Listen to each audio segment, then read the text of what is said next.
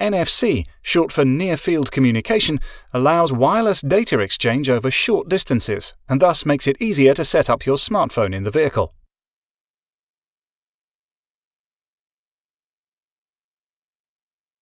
In order to set up the smartphone for the vehicle using NFC, the cover on the armrest must first be opened.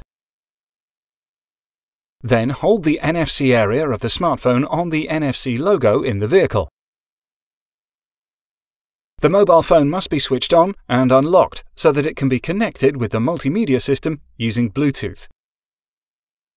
If necessary, confirm the connection or the displayed passkey on the smartphone.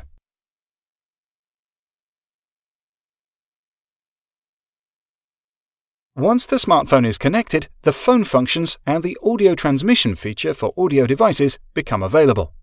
The smartphone will now be connected automatically at the beginning of each journey. If the desired smartphone is not connected, it can be connected by touching it briefly in unlocked state on the corresponding area.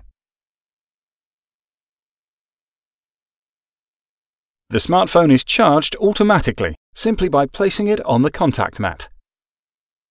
In order to use wireless charging, the smartphone must be equipped with the Qi standard. Information can be obtained from your smartphone manufacturer or the Mercedes-Benz website.